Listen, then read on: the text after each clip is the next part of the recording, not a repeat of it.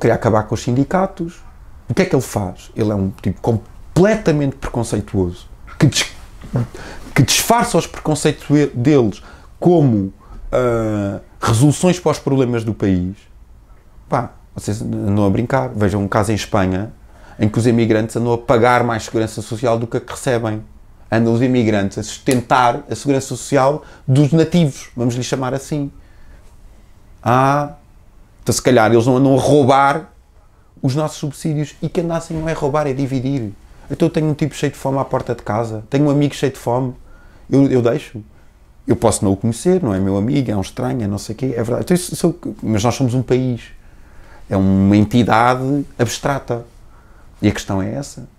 Então, espera lá, nós criámos uma cimeira nos Açores, não foi?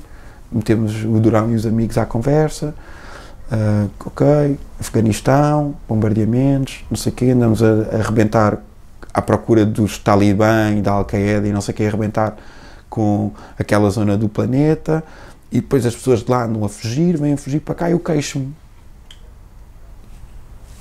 Pá, o que, o que é que o, o, o coitado do tipo que está num, num bote a boiar no Mediterrâneo já foram desmentidas várias, lembro perfeitamente na Alemanha uma conhecida que acho que foram umas miúdas violadas e, e andavam a acusar uns emigrantes.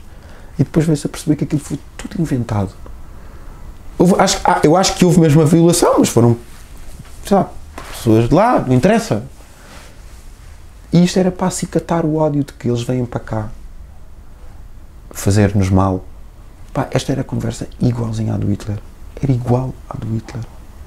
Eu há uns anos fui a Berlim e uma das exposições que existe lá, permanentes, tinha uns cartazes, eu, eu hei de recuperar depois mante, tinha uns cartazes das notícias deles. Pá, eu lembro perfeitamente de um, que tira uma fotografia, um cartaz, então um tipo trabalhador, assim com uma vara, com dois baldes, e, esses, e em cada um dos baldes estavam duas pessoas personificadas como judeus. E a dizer, tu andas a sustentar esta gente. Assim, uma coisa que é tu andas a trabalhar no duro, no campo e não sei o quê, para sustentar estes tipos. E começou com ideiazinhas assim. Acabou com o holocausto, que uns acham que não aconteceu. Acabou isso. Onde é que isto vai dar? Este, este discurso de que são... Mas qual é o problema dos imigrantes?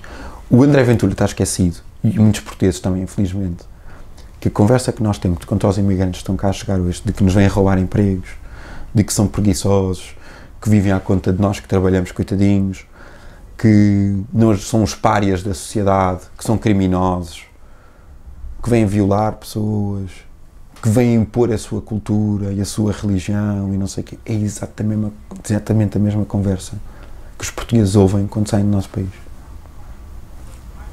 Nos anos 70, 70, 60, quando os portugueses estavam todos a ir para a França e para a Alemanha, o que é que aconteceu? Nós éramos tipos que íamos para lá, os párias, que não íamos fazer nada, pouco qualificados, tratados abaixo de cão. Foi fixe. Mas esta gente não consegue perceber isso. O problema não é serem imigrantes. O problema não tem nada a ver com religião. O problema não tem nada a ver com, com origem. Pá, tem a ver com pessoas. E tanto eles como nós. Há uns pá, que são criminosos. Ah, pois há. Mas cá também não há? Ah, e então? E qual é a questão? O problema é que somos nós a resolver os temos de resolver as, os criminosos deles, porque é que são eles a ficar nas prisões, o nosso sistema a pagar, pá, porque é que és tu que foste mandar bombas para lá?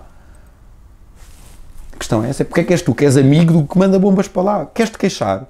Faz o seguinte, vais falar com, com, os Estados Unidos assim, meus amigos, nós estamos a receber muitos criminosos que andam a assaltar lojas, apagados em, em delito, em, em de delito, aquilo pá, uma, uma escandaleira, nós apanhamos, e o gajo é imigrante e não sei o quê. Nós resolvemos o problema no nosso país, mas custa-nos muito dinheiro. Estados Unidos, banquem, ah, isso já não pode ser. A questão é essa. Banca enquanto vocês mandarem bombas para lá. Quando vocês reconstruírem o país que vocês destruíram, deixam de bancar que eu posso mandá-lo para lá.